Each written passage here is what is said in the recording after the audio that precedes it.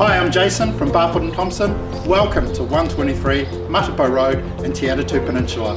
Here we have a fantastic three bedroom family home. It's sitting on a 549 square metre site.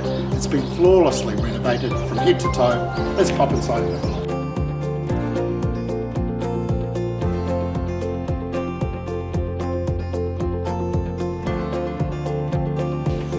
With such a great view of that cherry tree, you'll really enjoy cooking all your meals in this brand new, crisp and spacious kitchen. It's connected nicely to both family living areas and flows out seamlessly to that massive covered deck, great for entertaining year round.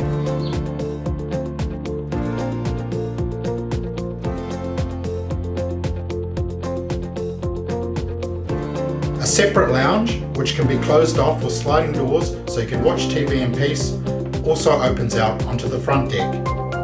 Moving down the hallway, large bedrooms with built-in robes and tucked down the quiet end of the house, the master bedroom with a huge walk-in wardrobe and access to the bathroom.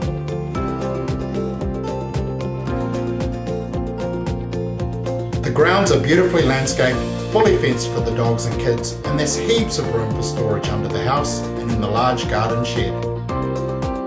Out the front is a single lock-up garage, a carport with enough cover for another car and a boat, as well as plenty of off-street parking.